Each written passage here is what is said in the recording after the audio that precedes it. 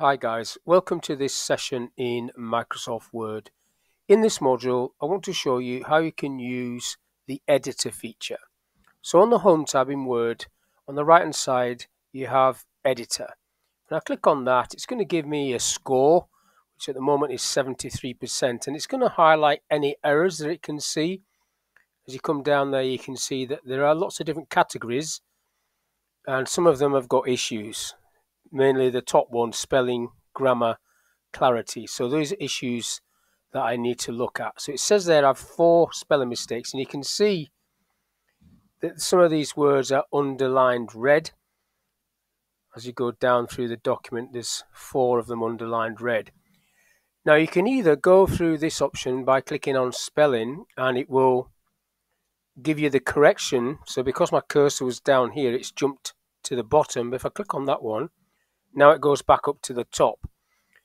Now the correction is there, but you can also, if you just click on this, it gives you the correction as well with some information that you might find useful. And I'll click on when, and then I'll do the same for this one. It's supposed to be document, because what you've got there is a readout. It can read out to you. Again, you've got the correction with these three ellipses at the end. If you click on that, it gives you some other options like change or spell out and add to the autocorrect if it's a proper word that you want to be in your document. But I just want to click on this, so I'll just click on that and correct it. Now, if I go back over here, now I've only got one spelling mistake, which is this one professionally. I've still got those three ellipses and the option to read it out. If I click on this, so I'll go back into that, you've got other things down the bottom there where you can you can click on that where it's ignoring it, or you can add from there to dictionary, and then these three ellipses give you some more options. So this is quite impressive the way this goes now. Um, I'll just click on that to change that one so it corrects it. So my score's gone up to 91%. I've still got this clarity issue. Clicking on that, what's it looking at? The ball was kicked by me. Now, I know that that is called passive voice, and I should say I kicked the ball. That's what that means. If you go onto the ellipses, you've got read aloud, spell out in this case. If I click on this, just physically click on this, it will read it out, and then I get three ellipses again where I've got some options. If I go into editor settings, you can change what it picks up. Um, that's word options. I'm just cancel that off. I'm not going to change anything there. So if I click on that, I'll get it to change it. That's called active voice. I kicked the ball. Apparently that's better. So I've got 100% according to this. But in my experience, it's still worth reading this out aloud just to check it is exactly how you want it.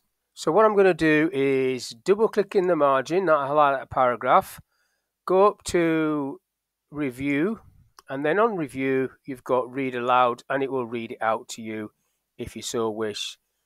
And you can pause it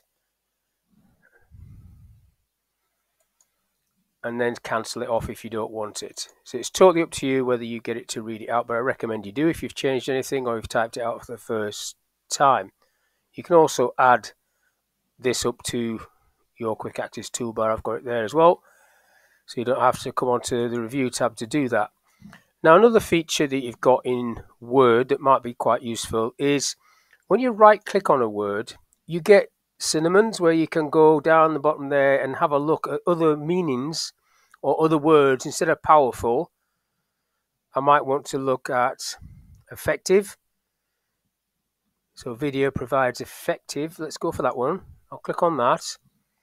And then another option, if I right click again on that one, synonyms effective, I can go into the thesaurus and it will give me some other options and I can click on these, but you've got to be careful because when you click on these, you actually go to that word and it's looking at different words. You can see it's changing. I do get a back arrow to get me back to that one, but you've got to click, click away whichever one you want.